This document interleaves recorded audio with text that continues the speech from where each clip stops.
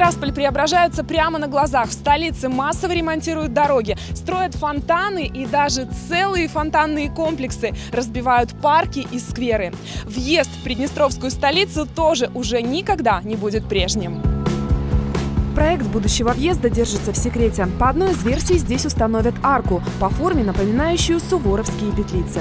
Оно и понятно. Есть легенда, что Суворов, прибыв на эти земли, бросил свои петлицы на земь и сказал «Город будем строить здесь». Гений военной науки.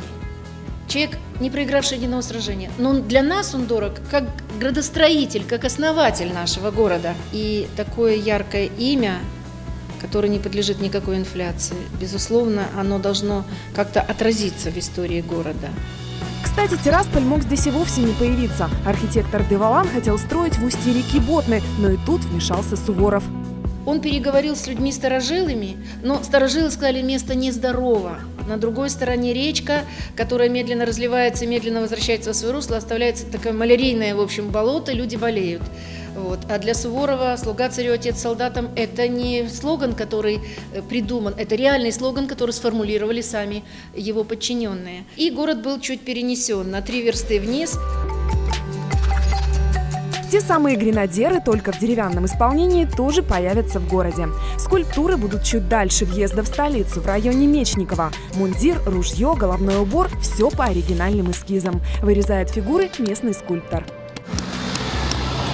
Сейчас э, первичная про, э, проработка в форме.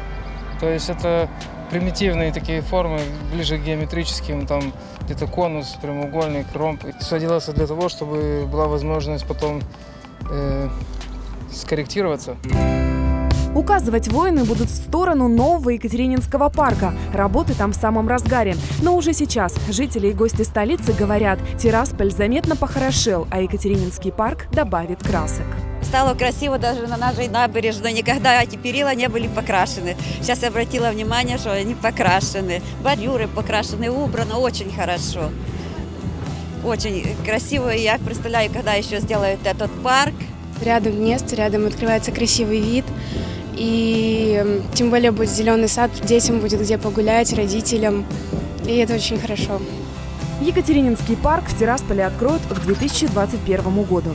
Деревья, кустарники, пруд, пирсы и мостики, детский городок и даже тропа здоровья. Будет все.